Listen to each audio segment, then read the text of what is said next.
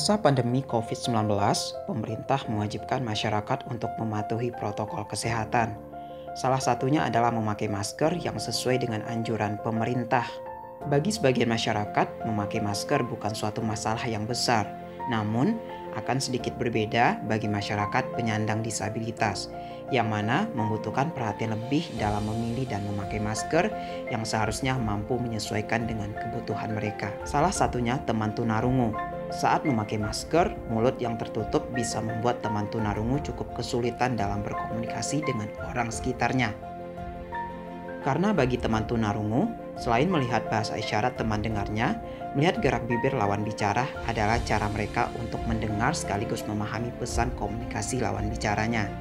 Berawal dari keterbatasan saat berkomunikasi dengan teman tunarungu, First Meet Project berinovasi membuat masker ekspresi Masker yang transparan di area mulut ini memudahkan teman tunarungu melihat gerak bibir lawan bicara tanpa harus melepas masker.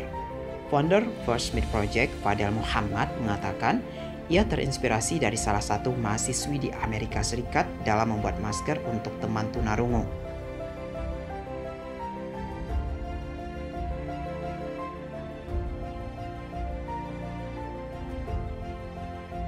Uh, yang pasti sih latar belakang karena mungkin kan kita mayoritas dari mahasiswa psikologi gitu kan, mahasiswa dan mahasiswi psikologi. Jadi kita juga uh, beberapa kali kayak interaksi dengan orang-orang dengan berkebutuhan khusus seperti teman tuli seperti itu. Nah dari situ uh, kebetulan juga di saat pandemi uh, komunikasi adalah salah satu problem mereka ketika uh, berhadapan dengan orang lain gitu kan. Karena kan apabila kita menggunakan masker rata-rata bahkan bisa saya katakan 70% teman tuli itu tidak belum bisa menguasai bahasa isyarat gitu apalagi dengan rekan dengarnya nah biasanya mereka itu uh, membaca gerakan bibir atau lip movement kita untuk mengetahui apa yang kita katakan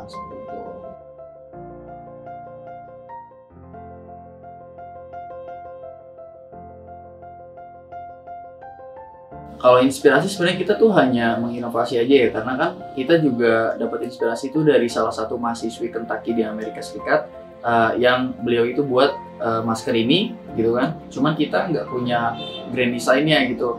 Lalu saya nge-build tim ada Nadifa juga ada Fitri gitu itu itu untuk membuat grand design-nya untuk apa? Untuk membuat uh, si masker ini bagaimana agar dibuat kayak sedemikian rupa bahannya nyaman dan ya sesuai dengan tujuannya seperti itu.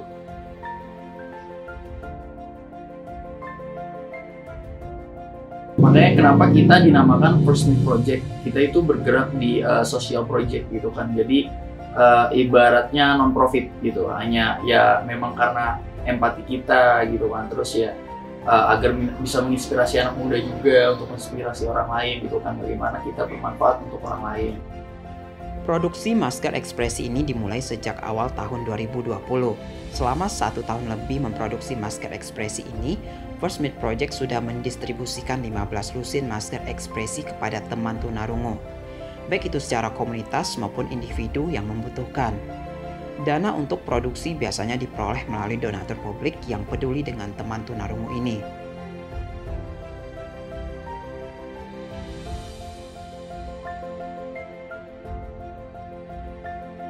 kami memproduksi masker ekspresi ini itu sejak tahun lalu itu uh, bulan April 2020.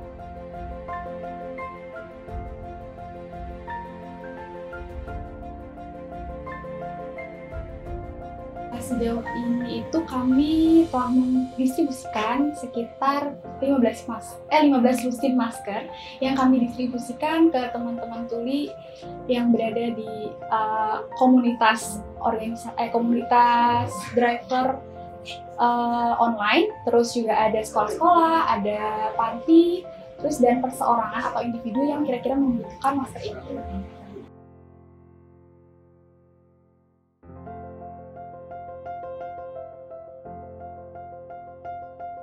Alhamdulillah uh, mereka tuh sangat antusias ya dalam uh, mendapatkan masker ini gitu dan uh, mereka sangat senang dan alhamdulillah dengan adanya masker ini mereka terbantu dalam uh, aktivitasnya gitu.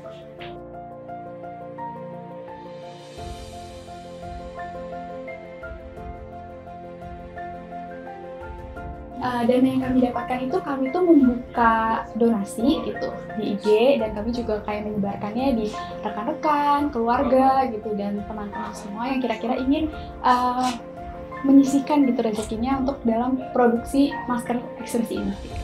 First Meet Project memiliki desain sendiri dalam pembuatan masker ekspresi. Diawali dengan pemilihan dan pengukuran bahan, kemudian menggambar pola pada bahan yang sudah disesuaikan, Proses pemasangan mika dilakukan lebih dulu pada dua layer bahan masker. Tidak sampai di situ, bagian tepi juga dijahit rapi dengan pemasangan tali sebagai sentuhan terakhir masker ekspresi.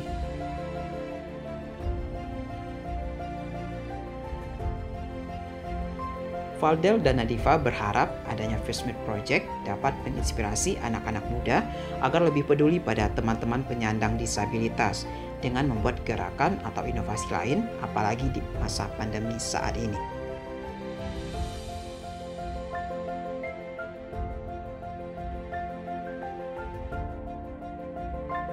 Ya rencana sih pasti ada ya karena kan kita juga ada nanti ada ya seperti turun temurun lah gitu kan dan mungkin tetap bergerak di uh, social project dan berbau-bau psikologi lah seperti itulah mungkin uh, ada project lain yang dengan uh, dengan bentuk disabilitas lain gitu nggak nggak hanya teman tuli aja gitu.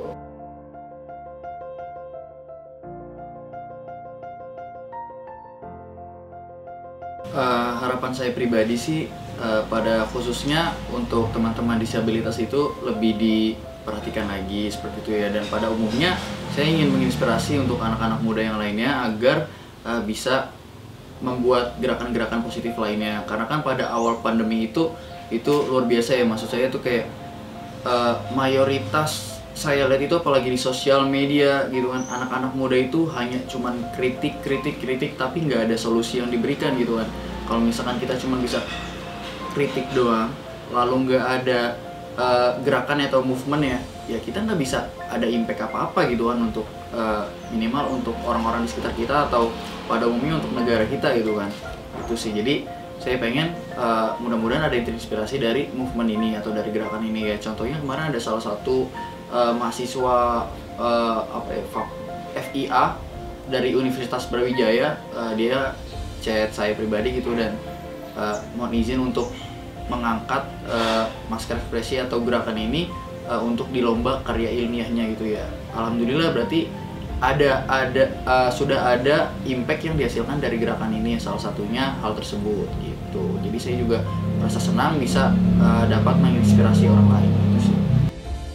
Saya harap sih dengan adanya program dari First Project ini itu dapat menginspirasi teman-teman yang lain gitu untuk membuat program-program atau pergerakan yang peduli gitu terhadap teman-teman disabilitas. Karena memang kita juga perlu memperhatikan teman-teman disabilitas juga gitu